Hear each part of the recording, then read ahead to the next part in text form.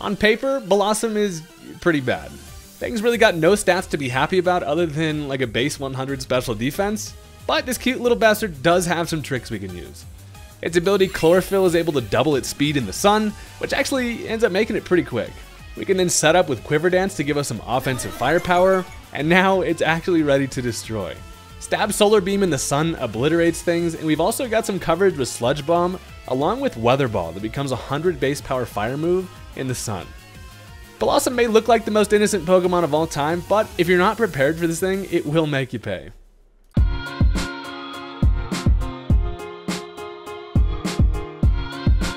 All right, look, I hope you brought both, you know, some sunglasses and a raincoat because it's about to get some weird weather up in here. I, of course, am working with an extremely fire sun team, and we're going up against what looks to be a pretty scary rain team. So that always makes for Quite the interesting dynamic. Their weather sweepers are, of course, quite a bit scarier, but I have the power of freaking Bellossom along with like a Scovillain in the sun, and I just think that they are some fun, weird dudes. If you're into that kind of thing, definitely consider hitting that subscribe button. And without any further ado, let's go ahead and get into it.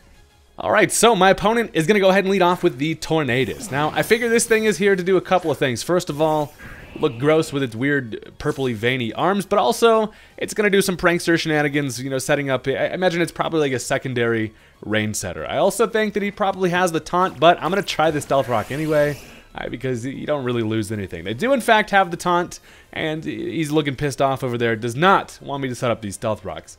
And hey, that's mostly fine. I do want to try to prioritize getting those up eventually just because of the Pelipper switch-ins. It also turns out Buddy has Nuts of Steel. Goes for a Metronome, which is hilarious because, you know, with that Prankster ability, it guarantees that they go first. Actually ends up getting a pretty solid roll and gets the Super Fang. So that kind of worked out nicely. And Prankster Metronome is an absolute balls to the wall strategy, and I got to I got to admit I respect it. But they're actually going to end up wagging the finger again. Go for another metronome here. It can literally get anything, and it actually turns out it gets memento. So while it does end up knocking itself out, it does give me the minus two on offenses, and it kind of is like that kind of works out. Is like a kind of weird suicidally. They do take themselves out, but also you know they got me down to half. And I do want to try to conserve Swampert as much as possible here. Being at half isn't super ideal. Luckily, I do have leftovers because this thing's really the only defensive mon I have uh, to be able to try to sponge a hit from their sweepers. So, now they're going to switch into whatever they like. Turns out they're going to go into my arch nemesis, Regan Breloom over here. This thing breathes on me, and the Swampert's dead. So you already know I'm going to switch his ass out of here, and I'm going to go right into two of my best homies. This is Habanero. The Habanero Pepper comes in, got his little jeans on, looking amazing, but I come in mostly just because you know, I figure a spore is likely coming, and you cannot put the peppers to sleep. So I'm now in kind of a weird offensive position here where Scovillain can't really get going while I do have the matchup against the Breloom. They can just easily switch in Pelipper and Rain kind of ruins my day. So I actually expect them to switch into Pelipper here. I'm going to make that prediction and actually end up switching myself into the Grafaiai. Now it turns out they actually stay in and go for the Swords Dance, which uh, now this Breloom is sharp and a whole lot more scary. But this is kind of still fine because I am a prankster myself. I can actually go for the Encore and be like, yeah, actually, that was sweet. Go ahead and go ahead and bust that out a few more times for me because I do not want to be swept by a Breloom. So they're obviously now locked into the Swords Dance here.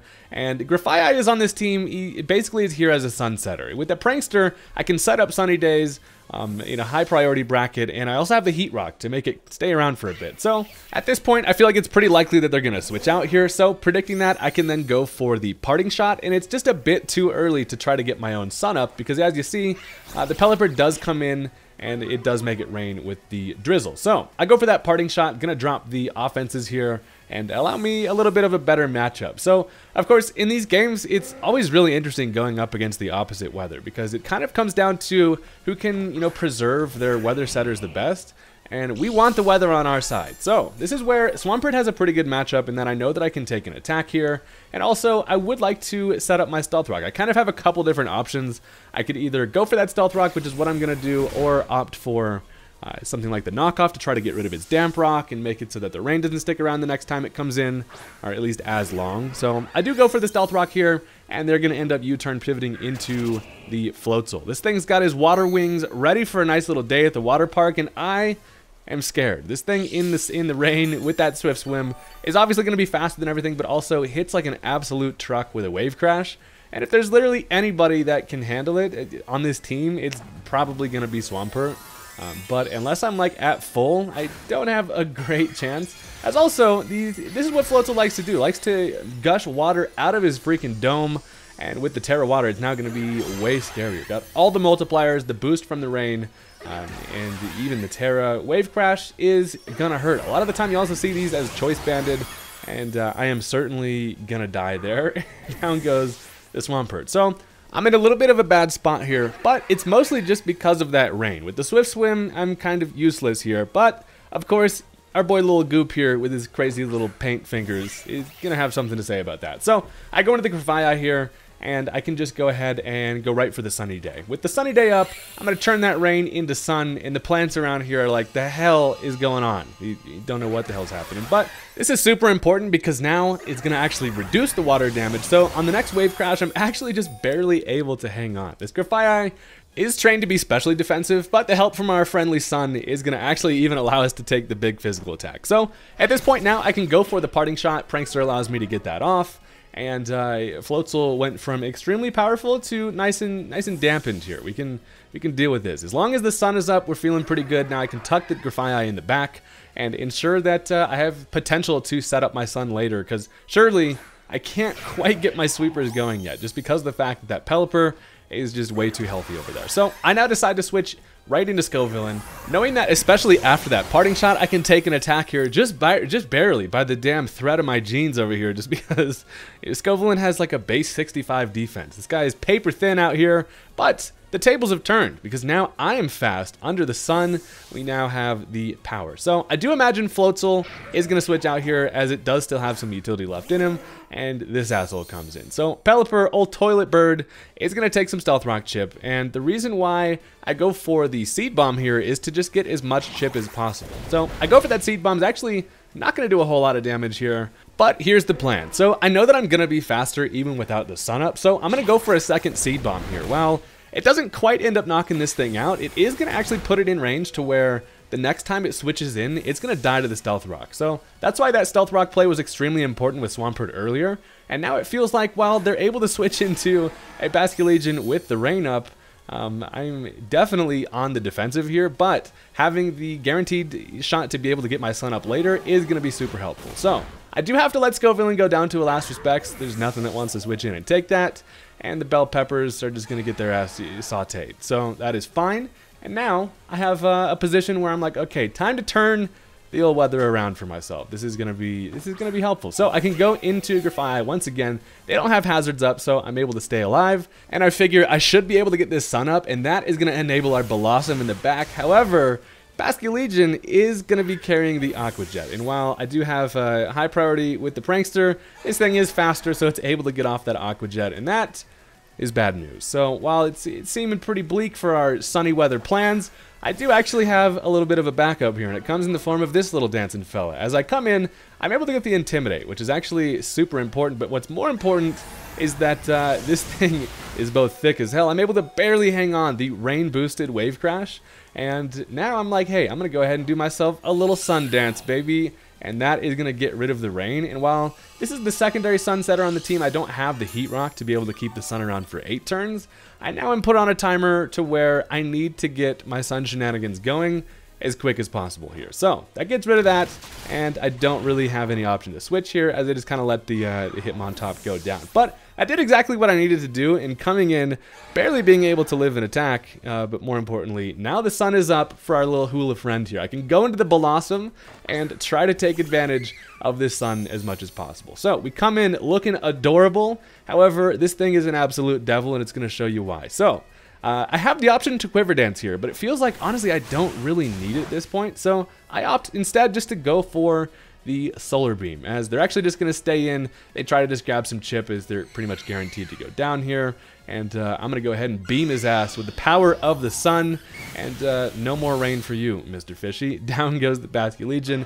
Extremely scary, and uh, I'm feeling like I'm actually in a great position here with the Bellossom. With the Life Orb, we're able to hit hard enough to where I feel uh, pretty confident that we can we can make it happen out here. So now they decide to go into Pelipper, and as it comes in, it just immediately just gets stabbed in the beak by some stealth rocks and does die, which is important because you do in fact not get that drizzle ability to come up unless you survive. So the stealth rock does exactly what we need it to do, and we now have a very well positioned little hula fella. So uh, they decide to go into the Breloom here. While it looks like I wouldn't have coverage, I do in fact not only have coverage in two forms, but I also uh, do have the Sun Boosted Weather Ball. I'm actually going to boost it even further because while I don't have my Quiver Dance up, I figure my best bet at damage here is to go ahead and, and light this damn thing on fire. Sometimes it's what you got to do. We go ahead and go for that Tera Fire, and now we have a very strong fire attack with the Weather Ball. And we're just over here sauteing some mushrooms. Down goes the Breloom. And we are showing why the Bellossom must not be slept on out here. So, while this is real nice, the bad news is the sun is in fact running out out here. And uh, we do actually have one more turn left of the sunlight. So, now they decide to switch back into the Floatzel. This thing does actually come in on the Stealth Rock and survive. I actually wasn't sure if this thing was going to be able to be to come in again, but uh, it does survive. But the bad news for him is now I would rather just have died to the Stealth Rock because, buddy, you're going to have to, in fact, take a Solar Beam to the damn chin.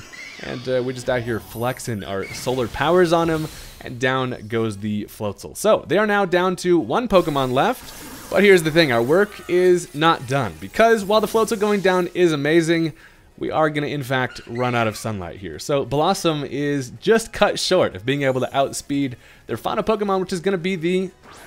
And they switch into this thing as it comes in. It does take the Stealth Rock damage, which is important because it brings it down to half. And obviously, you know, the Weather Ball does kill here, but it is going to be able to outspeed me. Now, also, what's really bad about Vivillon is it is able to go for the Sleep Powder now, just because of the fact that I, of course, am no longer Grass type. It does connect, and I get my ass put to sleep. So I am quite scared in this spot because um, this thing is definitely going to start quiver dancing, and we do not want the Uno reverse pulled out here. So at this point, I do have a plan because knowing that this thing is likely just going to go for the setup here, what I can actually do is switch into my trusty rubber flaming chicken here. And that is because while this thing is definitely going to need some boost to be able to knock me out with a hurricane if it can even connect, also I am choice scarf. So even at plus one, I know that I can outspeed this.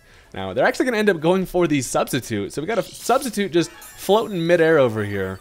And uh, again, Vivillon behind a substitute is quite scary because anything with the potential to start quiver dancing can easily just pull the game around. But I am actually faster. I can go for that flamethrower. First of all, roast and toast the hell out of the damn beanbag, and now surely this thing is going to go for the quiver dance. So they don't actually know that I'm going to be choice scarf at this point, which is why uh, we are still in a great position here. So they get that special attack boost along with the speed and the special defense, but at plus one, I've got myself a built-in plus one with that choice scarf, and all I have to do is uh, be able to outspeed here and finish him off with the flamethrower. So Bellossom being put to sleep was, you know, a sleeping duck to be able to be set up on. But Hot Wings comes in clutch. I can now outspeed even with that Quiver Dance.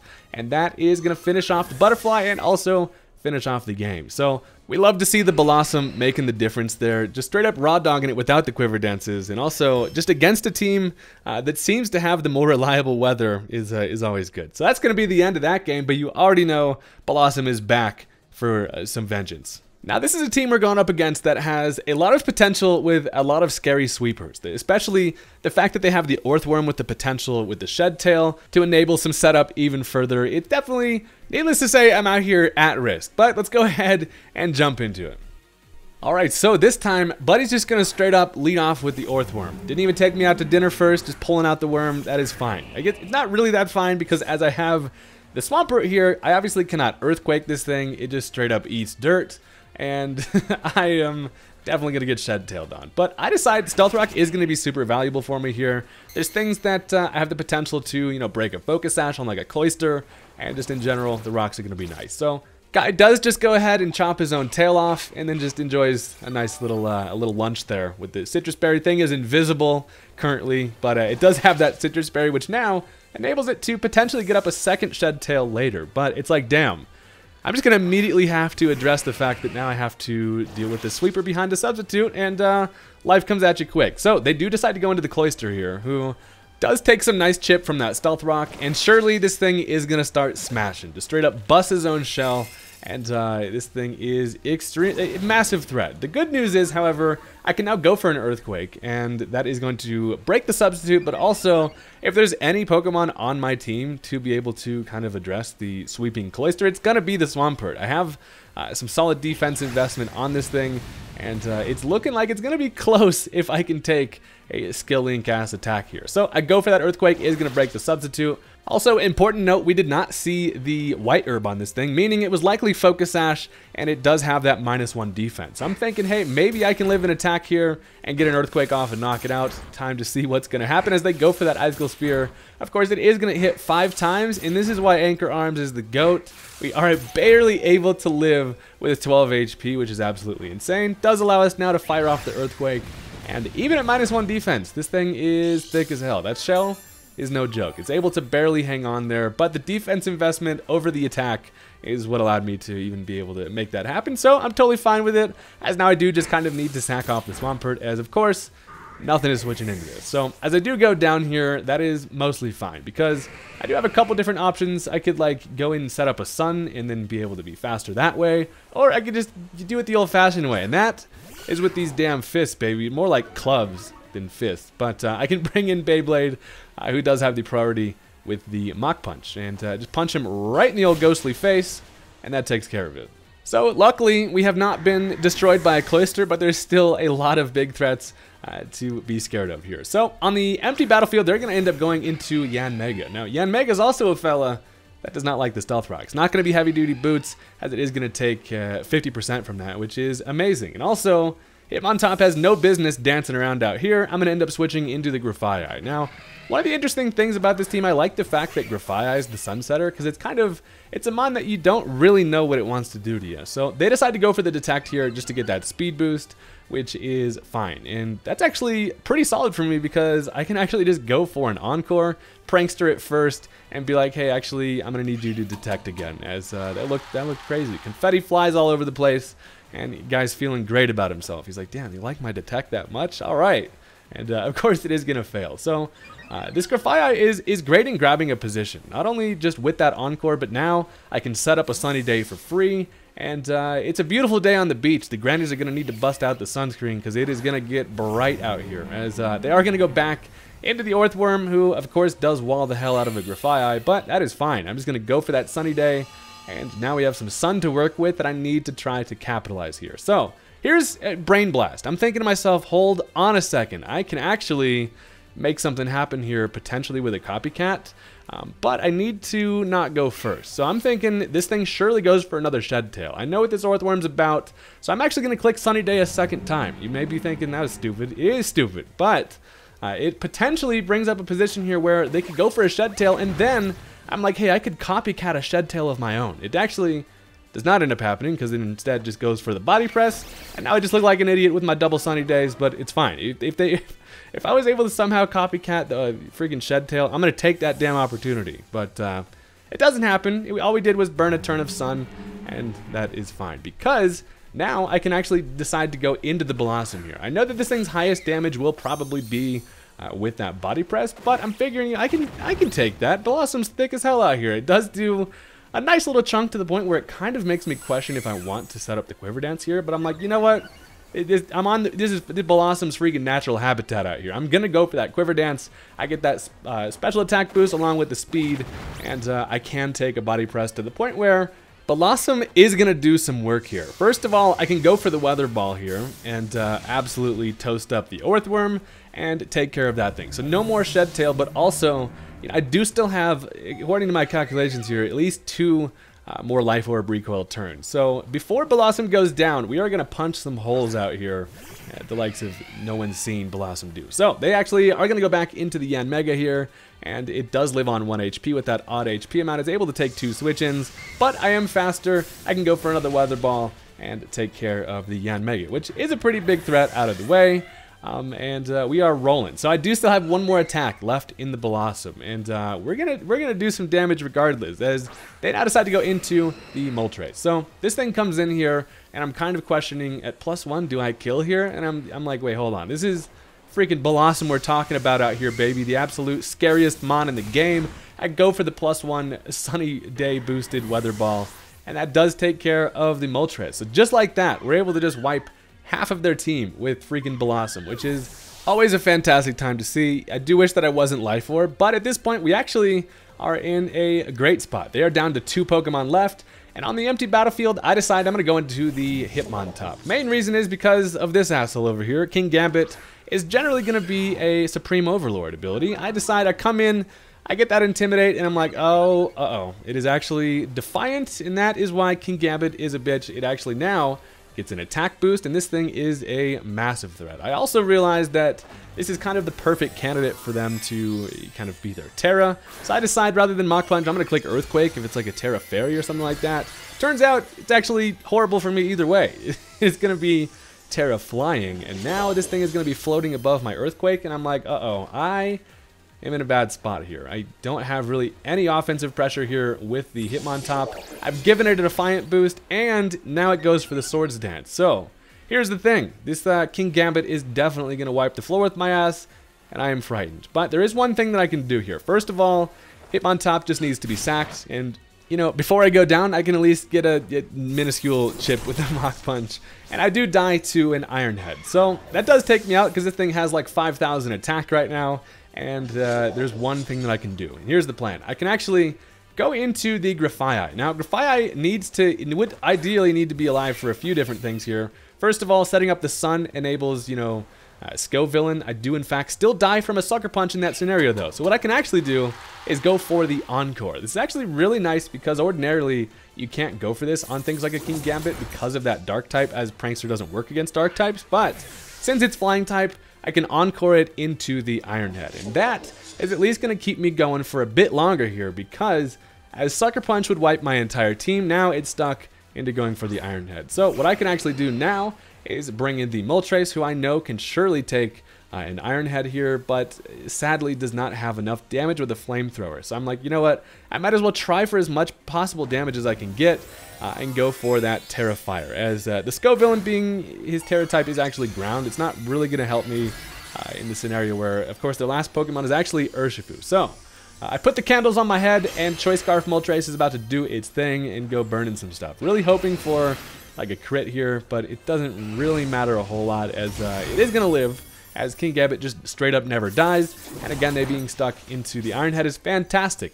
And also, since it touches me, it gets the flame body, which always seems to happen when it never matters, because, of course, them being burnt in this situation doesn't really do anything for us, just because now I can actually outspeed and kill with the flamethrower. So, we have effectively neutralized the massive threat that is freaking, what is it, plus, what is it, plus four? Kingambit? This thing is a, insane. Balloons are going to be popped, party is over, and now the final Pokemon is the Urshifu. And of course, it is going to be the Urshifu Rapid Strike with uh, freaking water type guy. This is the uh, most, this is probably the worst possible Pokemon for them to have in their last slot. So, um, Urshifu at this point, we have a couple different options. Either I switch into Scovillain to sack, get back in Moltres, and then go for an Air Slash and potentially flinch, or what I decide to opt for here is to go for the Flamethrower. I know that I'll outspeed. I can get some chip here and roll for a potential burn chance, not only with the uh, the 10% with the Flamethrower, but then I know they have to touch me, and I have that 30% chance with the Flame Body,